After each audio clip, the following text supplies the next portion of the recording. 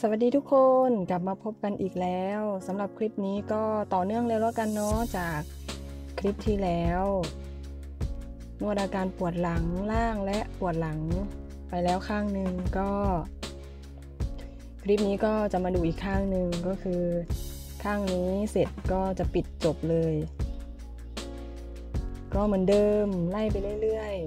ๆ ใช้มือพราม เพื่อคลายเส้นที่หลังแล้วก็คืนที่ไหล่ ก็ช้าๆ ไม่รีบเหมือนเดิม ก็อยากให้มีการต่อเนื่องคลิปเนาะก็ ให้ต่อเนื่องไปเลย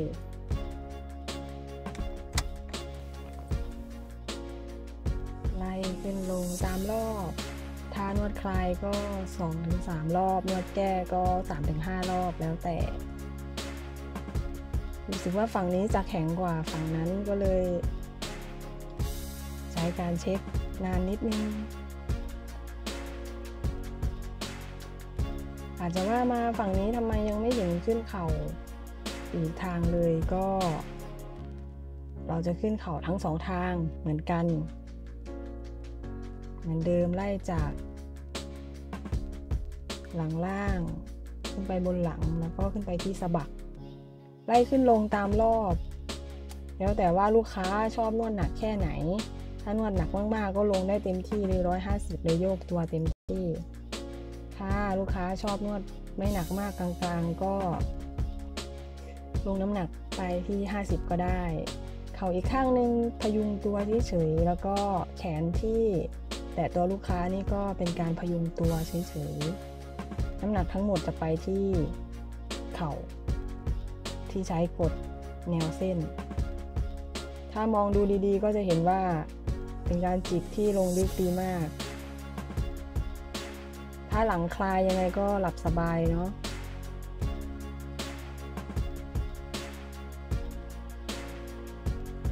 ถ้าปวดหลังล่างมากก็ให้เน้นตรงหลังล่างมากกว่า แล้วก็เน้นที่ สลักเพชรไล่ลงไปที่ขาท่อนบน แต่ถ้าปวดตรงหลังระหว่างอ่ากึ่งกลางระหว่างสะบักกับหลังล่างเนี่ย หรือว่าตรงสายเสื้อในเราตรงที่เราตะขอเสื้อในเนาะถ้าตามภาษาของผู้หญิงก็ตรงนี้จะเป็น บางทีก็ปวดจากอาการทำงานหนักหรือว่าก้มหรือว่า ที่เราทำอะไรผิดท่าสักอย่างหนึ่ง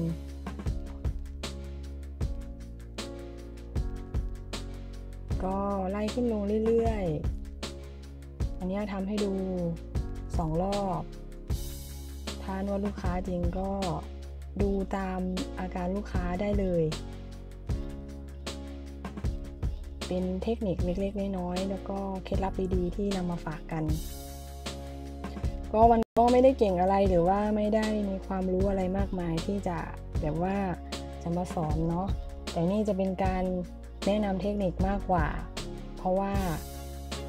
เคยใช้แล้วก็ใช้ได้ผลจริง แล้วก็ใช้นวดสำหรับชาวต่างชาติที่ตัวใหญ่ตัวเล็กที่ตัวเล็กแล้วนวดหนักก็คืออประเทศจีนหรือว่าคนจีนเรานี่เอง เขาจะตัวเล็กแต่ว่าเขาจะนวดหนักมาก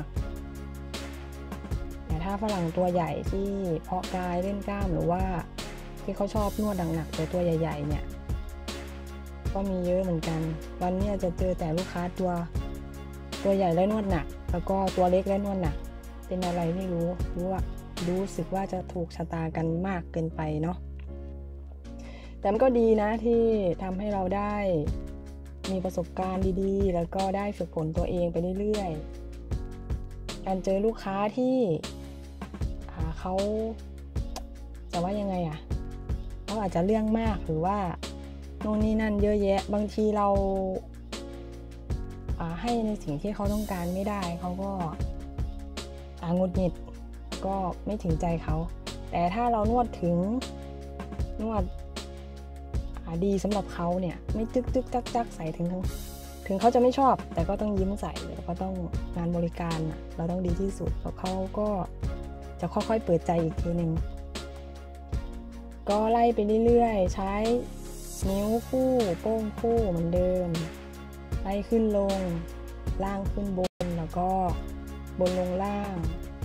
หลังจากนั้นก็ใช้ส้นมือพราม ใช้ส้นมือเลยนะ อย่าใช้แค่มือกด ใช้ส้นกดลงไปที่เส้นหลังชิดกระดูกแต่ไม่ไปกดที่กระดูกลูกค้าสำหรับ หมอมือใหม่หรือว่าใครที่เพิ่งเรียนนวดเนาะอาจจะเห็นว่ากดตรงไหน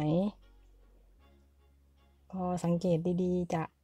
ได้เทคนิคมากมายเลย อันนี้วันยอมรับ พอใช้ศอกจิก ให้ดูลักษณะการวางศอกด้วยก็ได้ ถ้าอยากให้น้ำหนักลงจี๊ดแบบไหนจี๊ดแบบถึงเส้นหรือว่าจี๊ดแบบหลับสบาย หรือว่าจี๊ดแบบ นิ่มนวล เพราะว่ามันจะใช้สลับศอกกันแล้วก็ศอกบางครั้งก็หันขึ้นบนบางครั้งก็หันตรงบางทีก็หันลงข้างล่างอย่างที่เห็นเลย ก็ไม่รีบจะนวดไปเรื่อยๆ ใช้แขนมืออีกข้างหนึ่งพยุงตัวไว้ โยกมาจากที่ขาแอมที่หลัง วางศอกลงที่สะบัก แล้วก็ดันแช่ไว้นิดนึง พอไปถึงสะบักมันก็จะหันศอกขึ้นไปอีกทางหนึ่งเพื่อให้มันเข้าถึงล่องแล้วก็กล้ามเนื้อที่เราต้องการที่จะนวด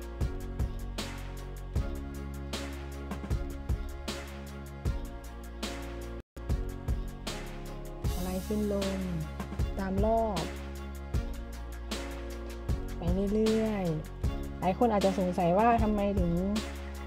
ทำคลิปออกมาได้อะไรหรือเปล่าได้สปอนเซอร์หรือเปล่าก็เอาตรงๆเนาะก็ไม่ได้มีสปอนเซอร์หรือว่าไม่ได้มีไม่ได้มีอะไรเลยก็ได้มีโอกาสได้ผ่านกฎของ YouTube จากพวกพี่ๆทุกๆ คนแล้วก็ทุกๆคนที่ให้กำลังใจกันมา แต่ความรู้ที่อยากนำมาลงก็คือ มันเป็นเทคนิคที่บางทีเราเจอลูกค้าแล้ว เออทำไมเราไม่เคย รู้อาการแบบนี้ทำไมเราจะแก้ปัญหายังไง ก็เคยเจอปัญหาแบบนี้เยอะเหมือนกัน ก็เลยคิดว่า จากที่เราไปเจอประสบกับลูกค้าเราเจออาการแบบนี้แบบนี้ เราไปใช้วิธีแก้แบบนี้แบบนี้กับลูกค้ามันมันโอเค มันดีสำหรับเขาแล้วก็เรา ก็เลยอยากทำคลิปลงไว้เพื่อให้ตัวเองดูด้วยเพื่อ เพิ่มเทคนิคให้กับทุกคนที่แวะเข้ามาชมแวะเข้ามาให้กำลังใจแล้วก็ติดตามกัน ก็จะไล่ลงไปที่ขาเหมือนเดิม นวดฝั่งนี้กับนวดฝั่งที่แล้วจากคลิปที่แล้วก็เหมือนเดิม แต่ว่ามุมนี้จะได้เห็นใกล้กว่าชัดกว่า ก็แต่ละครั้งที่ถ่ายคลิปเราก็จะมีมุมสั้นมุมยาวเพื่อจะให้ดูกันหลายๆมุมเนาะ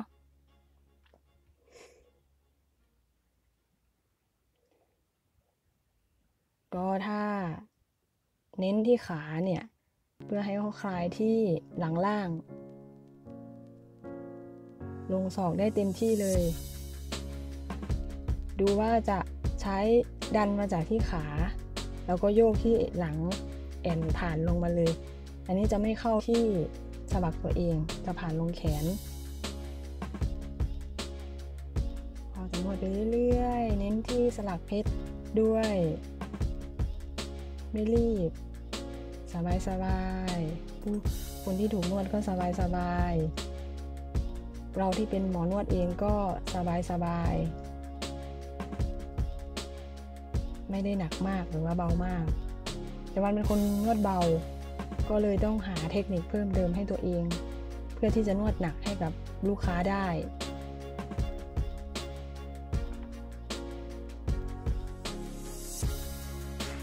ก็ดูจากลักษณะของวันก็ลูกค้านวดหนักอยู่แล้ว ผู้ชายตัวใหญ่ อยู่แล้ว แล้วก็มีลูกค้าหลายคนที่บอกเออทัวเธอตัวเล็ก เธอสามารถขึ้นเดินบนหลังฉันได้เลยนะ อะไรประมาณนี้แต่ก็ใช้การนวดให้เขาดูก่อนว่าน้ำหนักเรากับความต้องการของเขา อาจจะถึงกันอยู่แล้วอาจไม่ต้องเหยียบก็ได้ ก็จะมาใช้วิธีนี้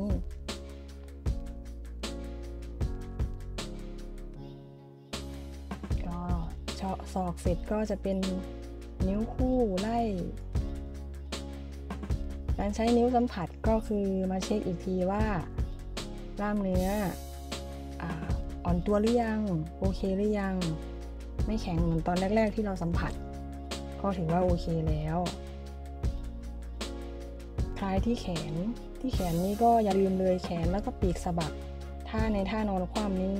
มันจะเคลียร์ให้เลย เดี๋ยวคลิปต่อไปต่อจากนี้ก็จะเป็นนวดคอบาไหล่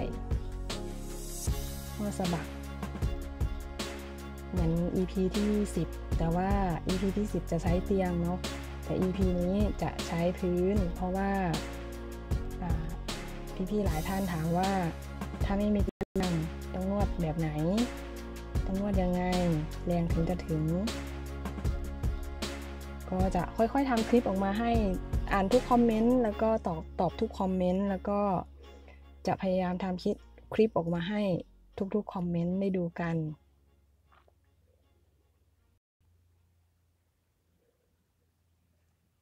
ก็ไปเรื่อยๆช้าๆ จะเน้นที่สลักเพชรให้อีกทีนึง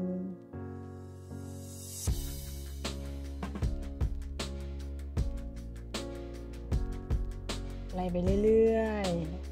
ๆ ถ้าเรานวดแบบนี้ หมอนวดก็ไม่เหนื่อย ลูกค้าก็สบาย แต่ถ้าเรานวดหนักให้เขาเกินไปแล้วก็ตะบี้ตะบันนวดเนี่ยเราจะเหนื่อยเองใน เวลาที่หมดชั่วโมงแล้วเคยเคยสังเกตไหมมันเคยสังเกตตัวเองว่า ปีแรก ๆ ที่มานวดที่ภูเก็ตเนี่ยตะบี้ตะบันมากเพื่อจะให้ถึงลูกค้า แต่เอาจริงๆแล้วคือ ถ้าเรามีเทคนิคแล้วก็สเต็ปดีๆเนี่ยเราลูกค้าอยู่ทุกคนโดยที่ไม่ต้องไปตะบี้ตะบันใส่ขนาดนั้นเออก็ถือว่าได้ประสบการณ์ดีๆมากมายเยอะแยะเลย หลังจากที่ อยู่ในวงการนวดมา 5-6 ปีจะ7ปีแล้วไหม ก็ตบท้ายหลังจากคลายเสร็จก็ขึ้นเข่าคู่ ไล่ให้อีกทีนึงเพื่อพอนวดเสร็จแล้วลูกค้าจะโล่ง โล่งแบบโล่งสบายอะ่ะไม่แบบว่าเออติดอยู่ตรงนี้ยังมึนหัวอยู่เลยยังติดอยู่แขนฝั่งนี้ติดเครื่องอยู่ที่ สะโพกเคร่งอยู่ที่ที่โครงอยู่เลย ถ้าเราเคลียร์แล้วก็คลายให้ก็ จะดีขึ้น ถ้าอยากให้หนักกระดกปลายเท้า แล้วก็ทิ้งตัว เทคนิคที่ดีที่สุดของวันก็คือการทิ้งตัวโน้มทิ้งตัวให้เต็มที่สบายๆแล้วก็คลายหลังให้ ทุกๆครั้งที่นวดเสร็จไม่ว่าจะเป็นนวดอาการ แก้อาการหรือว่า นวดผ่อนคลาย ก็อย่าลืมนวดที่ฐานกระโหลกต้นคอหรือไม่ก็นวดหัวให้ลูกค้าด้วยสักนิดนึงก็ยังดีเพื่อให้เลือดไหลเวียนได้ดีแล้วก็จะไม่มึนหัวไม่ปวดหัว จะไม่อึนอะความรู้สึกเคยเป็นไหมจะอึนๆพอลุกนั่งเสร็จก็ทำไมมันไม่โล่งอะไรเงี้ยถ้าเคลียร์หัวให้เสร็จพอลุกนั่ง เราจะไปดัดไปยืดไปเหยียดก็เขาก็จะโล่งสบายแหละ นวดหัวเสร็จก็เสร็จสิ้นสำหรับการนวด อาการปวดหลังล่างแล้วก็ปวดหลังทั้งสองคลิปเนาะเป็นคลิปต่อเนื่องกัน ถ้าใครยังไม่ดูคลิปแรกก็ย้อนกลับไปดูได้ ก็ค่อยมาดูคลิปนี้ ก็ขอบคุณทุกคนที่ติดตามเป็นกำลังใจให้กันตลอดมา